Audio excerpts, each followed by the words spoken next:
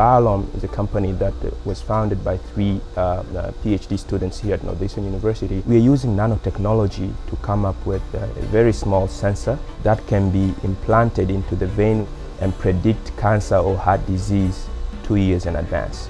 We took part of this project and we are trying to commercialize to use only the part of the device in which we can take a blood sample, put it on top of the device and predict uh, traces of cancer. Doctors can use technologies like this to be able to predict disease uh, condition of a patient to make a better decision.